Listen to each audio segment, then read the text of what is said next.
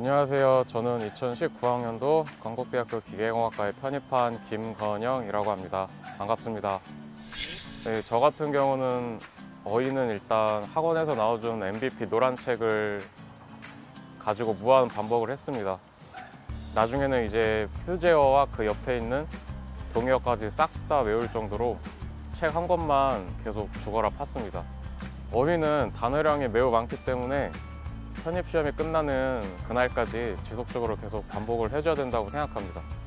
문법은 어휘와 같이 상반기에 기본을 확실히 해둬야 되는 과목이라고 생각합니다. 저 같은 경우에는 문제를 풀 때 문제를 푸는 것뿐만 아니라 정답이 아닌 나머지 보기가 왜 정답이 안 되는지 스스로 체크하고 공부를 하여서 문법 이론들을 까먹지 않으려고 노력했습니다. 네, 독해는 글을 입체적으로 읽는 것이 가장 중요하다고 생각합니다.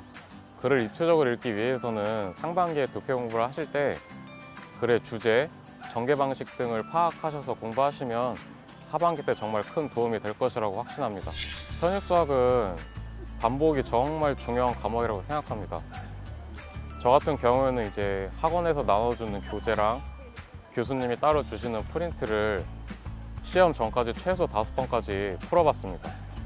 저는 수학 공부를 할때 개념을 완벽히 이해하고 문제를 푸는 것이 아니라 문제를 품으로써 개념을 다시 확실하게 정리하면서 공부하였습니다. 제가 다니는 건국대 같은 경우에는 면접 비중이 40%로 적지 않은 비중이고 그 중에서 특히 전공 면접이 중요하다고 생각합니다. 그렇기 때문에 저는 면접 전날까지 시간을 쪼개서 전공 공부를 하였고 면접에서 좋은 결과를 얻어서 지금 건국대에 다니고 있습니다. 수업 시간과 수업 시간에 배운 내용 복습뿐만 아니라 이전에 배운 내용들을 기출문제를 통하여 한 번 더 개념을 잡고 공부하였습니다. 9월부터 파이널까지는 한 9대 1 정도로 수학 공부를 영어 공부보다 훨씬 많이 했습니다. 영어 공부는 이제 학교마다 기출 문제를 하나씩 풀어보면서 감을 유지하는 데만 그쳤고 나머지 시간에는 전부 수학 공부를 했는데 기출 문제를 통하여 이전에 배운 개념들을 계속 복습하고 잊어먹지 않으려고 노력했습니다. 또 수학 진도가 다 끝난 뒤에는 전년도 학교별 기출 문제를 풀어봄으로써 실전 감각을 키우려고 노력했습니다. 저는 편입 합격에 있어서 가장 중요한 것은 간절함과 멘탈 관리라고 생각합니다. 모의고사 점수가 잘 안 나오거나 편입 준비하는 기간이 길어지면 길어질수록 정신적으로 약해지기 마련입니다. 그럴 때마다 무너지지 않고 스스로 자신에게 좋은 말들을 계속 해주면서 멘탈 관리를 해야 된다고 생각합니다. 저 같은 경우에는 슬럼프가 11월 말쯤에서 12월 초까지 있었습니다. 그때 체력적으로도 많이 지치고 final 모의고사 점수도 생각보다 많이 안 나와서 굉장히 힘들었던 상태였습니다. 저는 제가 힘들다고 해서 새로운 것을 시도하거나 공부 환경을 바꾼다고 해서 지금 제 상황이 더 좋아질 거라는 생각은 들지 않았습니다. 그래서 이때까지 지내왔던 생활 패턴을 유지하려고 많이 노력했고 또 스스로에게 좋은 말들을 계속 해줌으로써 멘탈 유지를 했습니다. 저는 학교 네임밸류나 경쟁률과 상관없이 모두 기계공학과에 지원했습니다.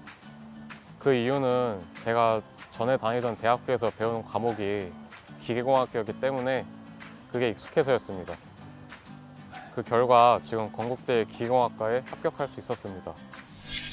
제가 김영학원에서 추천하고 싶은 시스템은 달마다 보는 모의고사입니다. 달마다 보는 모의고사를 통해서 자신이 한 달 동안 얼마나 공부했는지를 객관적으로 평가할 수 있고 또 실전 감각을 키우는 중요한 시스템이라고 생각합니다. 그 다음으로 담임 선생님들의 학생들 관리 시스템이라고 생각합니다. 담임 선생님들이 종례 시간에 앞으로의 일정이나 좋은 말씀들을 계속 해주심으로써 학생들의 멘탈을 관리해준다는 게 정말 큰 장점인 것 같습니다. 저는 살면서 편입은 한 번쯤은 도전해볼 만한 가치가 있다고 생각합니다. 처음에 과연 내가 한다고 될 수 있을까? 라는 불안함이 드는 것은 사실입니다. 하지만 그런 것들을 버티고 이겨내며 앞으로 나아가는 것과 그냥 포기해버리는 것은 나중에 정말 큰 결과 차이를 가져오게 됩니다. 저는 편입이 살면서 한 번쯤은 도전해볼 만한 가치가 있다고 생각합니다.